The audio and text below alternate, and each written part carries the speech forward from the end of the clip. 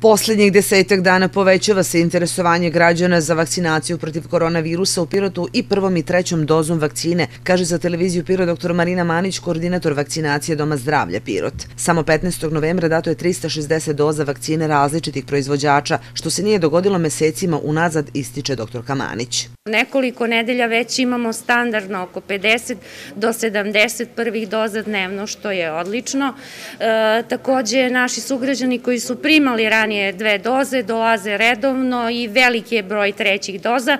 Ja kažem, e, dobro je što smo evo i juče postavili neki mali naš rekord na vakcinalnom punktu od letos, tako da nadam se da su naši sugrađani svesni toga da jedina prava zaštita od korone jeste vakcinacija.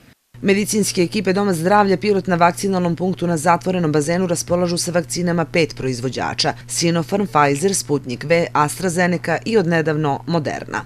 S tim što Moderna je specifična desetodozna vakcina, tako da ko želi modernu može da dođe na vakcinalni punkt, da upišemo ga i da znači nakon toga organizujemo pozivanjem vakcinaciju, takođe i što se tiče AstraZeneca.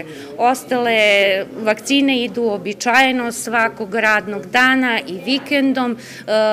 Pfizer i ruska vakcina kako i prva i treća doza bez zakazivanja, druga doza je znači posle određenog vremenskog perioda. U jutarnjim času časovima negde do 10-11 ne vršimo zakazivanje za Rusku i Pfizer zbog specifičnosti vakcina. Ako nemamo dovoljno tog dana, onda prebacimo za sutradan. Dakle, vrlo brzo svi koji su zainteresovani mogu da prime vakcinu.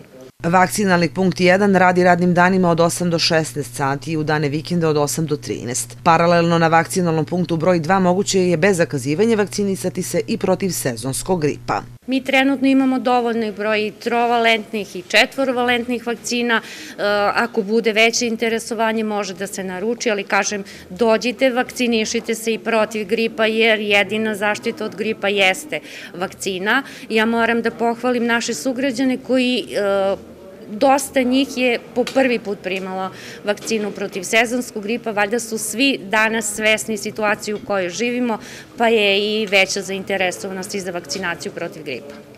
Doktor Kamanić kaže da se u poslednjih 10 dana beleži i pad broja novopotvrđenih slučajeva obolevanja od koronavirusa i manji broj prvih pregleda u COVID ambulanti, što je rezultat i novih mera i većeg procenta vakcinisanih i nada se da sa povratkom đaka u školske klupe neće doći do ponovnog povećanja broja obolelih.